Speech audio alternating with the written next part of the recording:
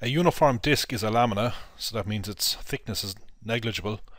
The mass is uniformly or evenly spread throughout the disk. So the mass per any unit area of the disk is the mass of the disk m divided by the area pi r squared. So r is the radius of the disk. The center of mass of a uniform disk is at the center of the disk. We want the moment of inertia about an axis that's perpendicular to the surface of the disk and passing through the center of the center of mass. We break the disk up into mass elements delta m. Now we choose these mass elements to be concentric rings centered at the center of the disk. So we can make those mass elements as small as we like by making the thickness of each ring as small as we like. Okay, what do we do to get the approximate moment of inertia of this mass element about this axis? Well, we multiply its mass by the distance squared to the axis. So the distance squared would be the radius of that ring. Okay, again we haven't taken limits, so the radius of the ring is a bit ambiguous because we could take x going from the center to the inner part of the ring or x going to the outer part of the ring. But when we let delta m approach zero, as we've seen before, um, there's no ambiguity. The, this mass element becomes infinitely thin. So we'll get to that. Okay, we know what to do. We've seen this before. We want to write the moment of inertia of the mass element in terms of x only. So we use the fact that a mass element is proportional to the area. So the density doesn't change. So if the mass is delta m, we need to divide by the area of that element. Call it a strip. Okay, so this is a constant since the disk is uniform. If the disk was non-uniform, well, we're dealing with um, something that's not on this course, so I don't discuss that situation. Okay, so how do we get the area of this strip in terms of x and delta x? Okay, um, so imagine that we open out this strip if we could open this strip out into a rectangle, what's the height of the rectangle?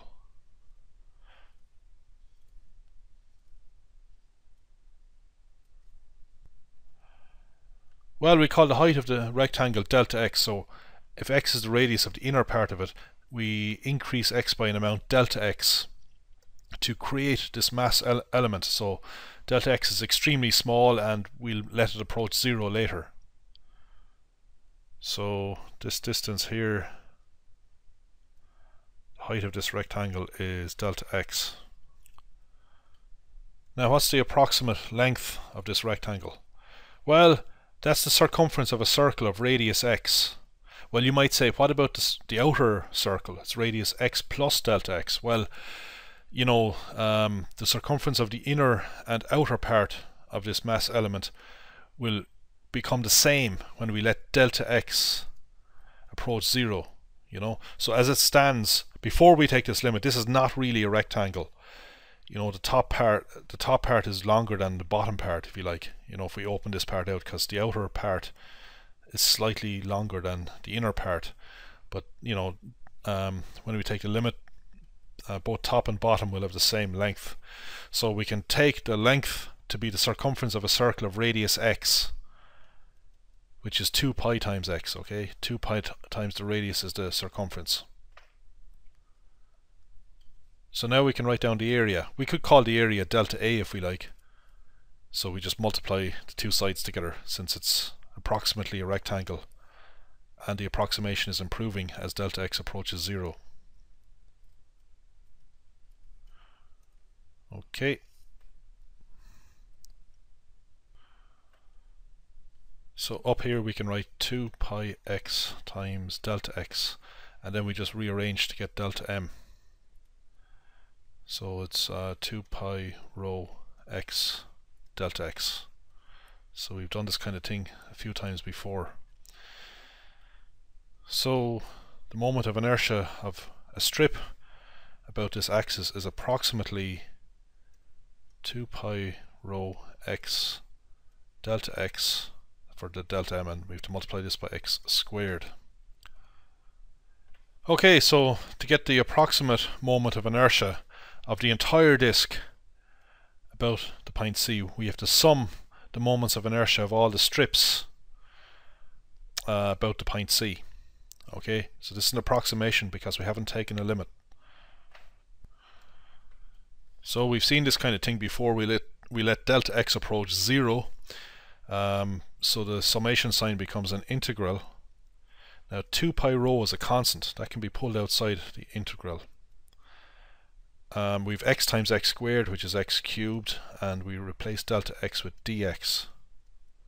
Now what about the limits of the integral? So we're taking the sum of the moments of inertia of rings stretching from x equals 0, the radius is 0, to the outermost ring. The outermost ring is at the edge of the disk and its radius is equal to the radius of the disk which is r. So we're integrating from x equals 0 to x equals r. Now we want this in terms of m so we know what to do. Uh, we plug m, uh, m over pi um,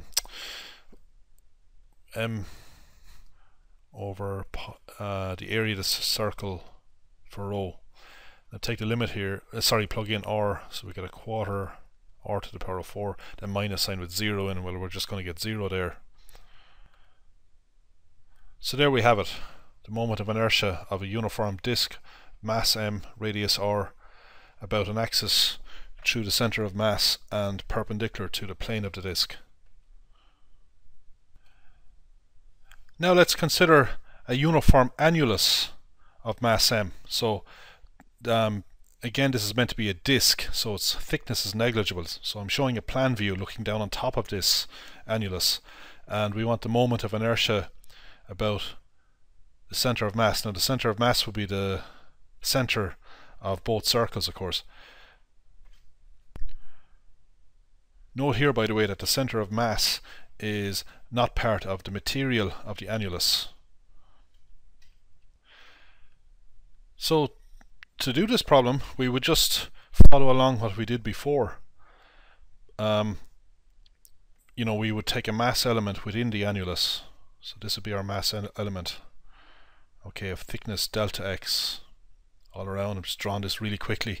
Obviously it's meant to be a circle and uh, we'd follow exactly what we did before so we don't have to go through all that. The only change is when we get to performing this integral here. Instead of integrating from x equals 0 to x equals r, we would integrate from x equals the inner radius of the annulus, which is b, to the outer radius, which is r. So the moment of inertia here is 2 pi times rho, rho is the um, um, density of the annulus, but integrating not from 0 to r, but from b to r. So, so all the mass elements would range from x equals b to x equals r. We'd have all these little rings of width dx, or well delta x, and when we take the limit the width becomes dx, ranging from x equals b to x equals r.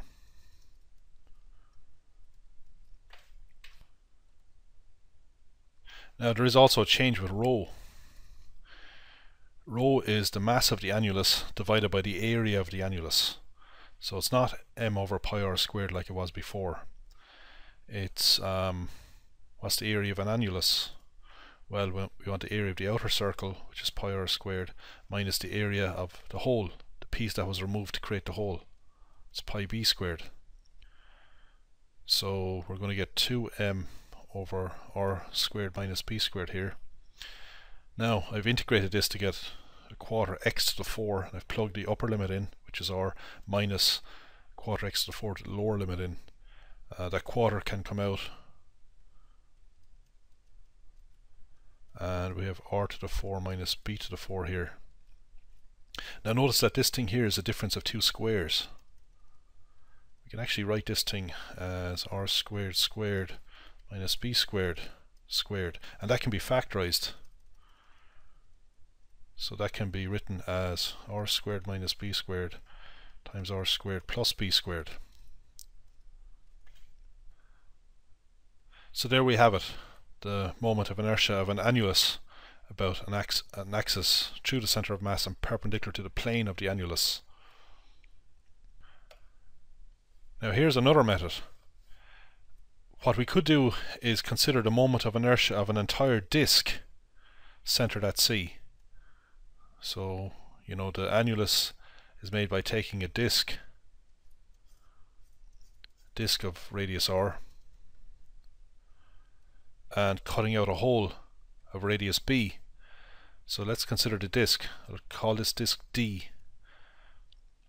And uh, the piece that's removed to make the hole I will call H. And its radius is B.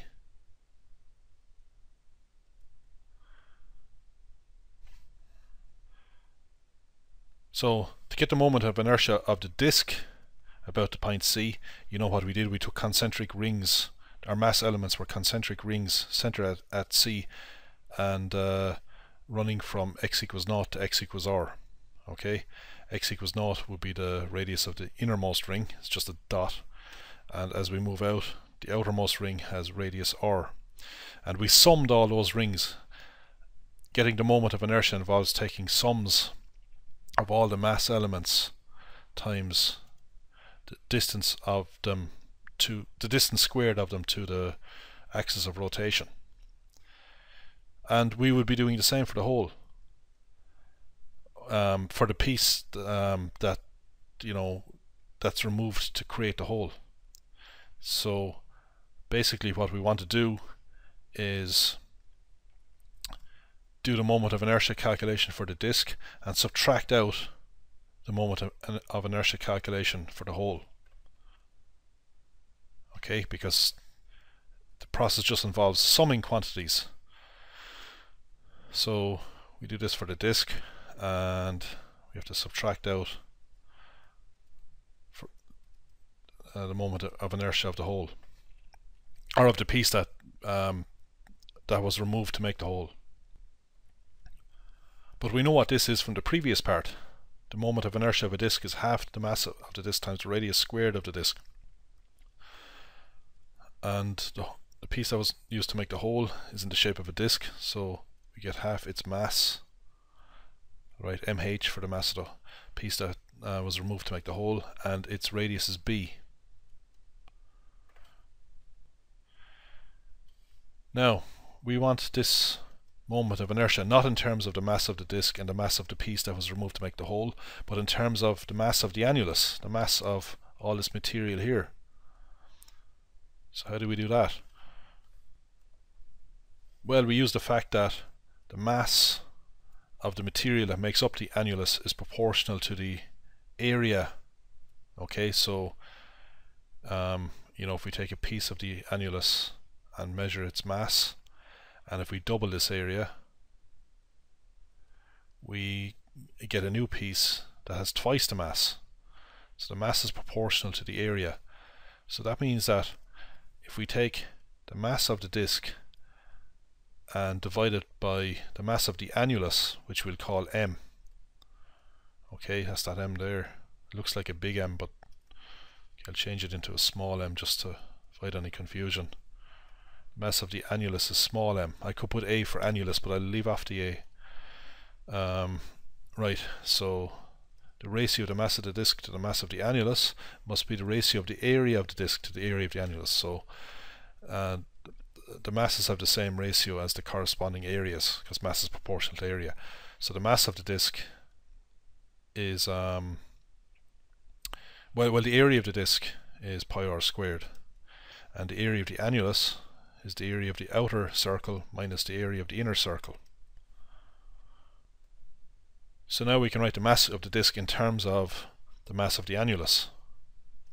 And of course we can do something similar for the mass of the hole.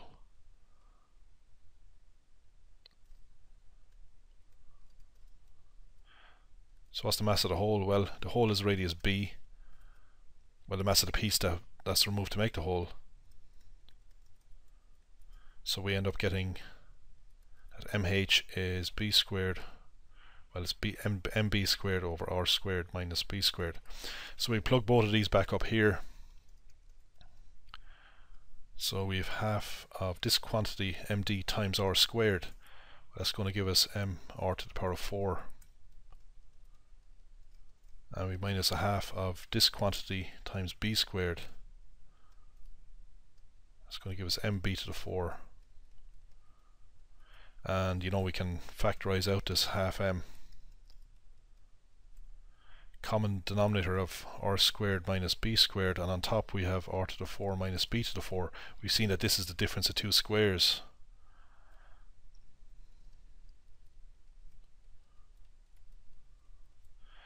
So these cancel out and we get the result that we saw earlier. The moment of inertia of the annulus about an axis passing through the center of mass perpendicular to the plane is half the mass of the annulus times r squared plus b squared. Now let's get back to this uniform disk. Suppose that we wanted to rotate this disk about some other axis. Let's say this axis here. And make this axis parallel to the axis through the center of mass. Now, Imagine trying to do this problem using integration. You know, we would be in big trouble with our um, mass elements being concentric rings centered on this axis. Because what's going to happen of course is that as we get to the edge our rings are not going to be circles. So the mathematics gets really complicated. And uh, you know it's completely intractable uh, to do it using integration at this level but what we can use is the parallel axis theorem. So if distance between these two axes is d, we can very quickly get the moment of inertia about this axis. So here is the parallel axis theorem. Um, so